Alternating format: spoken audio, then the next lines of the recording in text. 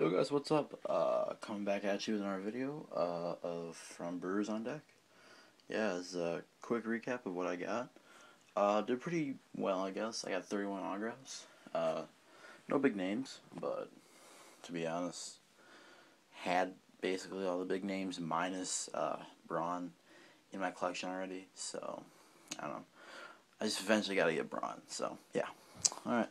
Start off with the uh, photos. Uh, I got two 4x6s signed, one of Jason Rogers, and then one of Clint Coulter, chill dude right there.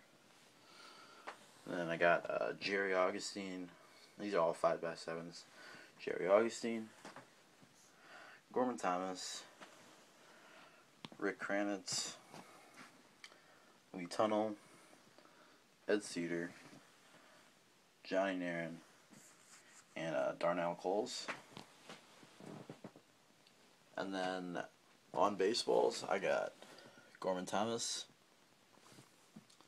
Um, baseball signed by two out of the three prospects in the Iota trade, Corey Knebel and uh, Luis Sardinas. And then on this ball, I got the entire Brewers coaching staff. I got Roenicke on sweet spot, at Sedar. I think that's Guerrero. I am not sure. Uh, Mike Guerrero, I think or John Shelby, one of the two. Um, who is this? Jeez. Oh, that's Mike Eric. Jeez, there's somebody. uh, who's this? Darren Coles, and then Jerry Narron, and Lee Tunnell, and Rick Kranitz, right there. I don't think I was. Yeah, I missed it on camera. But yeah, that's pretty cool. I got the entire coaching staff on that ball. Then on my uh, mini helmet, bought it with this Yuniesky Betancourt autograph. Kind of smudged on there, but it was three dollars for the mini helmet, so got that. I got Juan Centeno, third string catcher.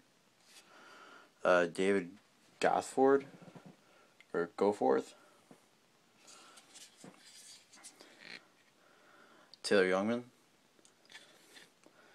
Michael Strong, Shane Peterson, Brooks Hall, and Michael Blazek. And then on my team bet, or a random Brewers I like bet, got uh, Wily Peralta right there. Trying to focus it a little bit more. There it is. And then uh, Chris Davis, really uh, cool dude. I got a picture with him.